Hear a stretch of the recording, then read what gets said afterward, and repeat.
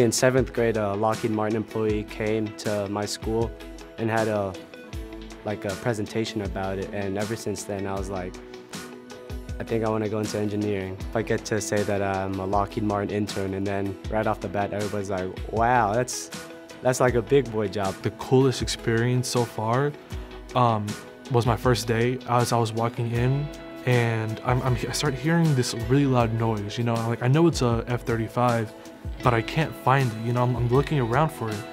And so my, my supervisor comes outside and he says, hey, look, and he points over there and there's an F-35 hovering right there.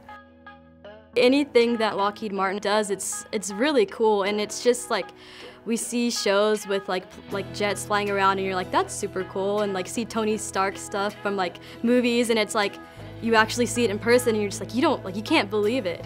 I'll come in one day and I'll be working with certifying missiles, and the, the next day I'll come in and I'll be, you know, writing some code for heating sensors on the plane.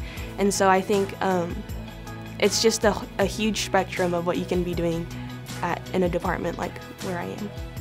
I think being able to be a part of a company that close and put myself in there and actually, you know, enjoy what I'm doing, that really helps with in the future if I want to, if I go into any other job.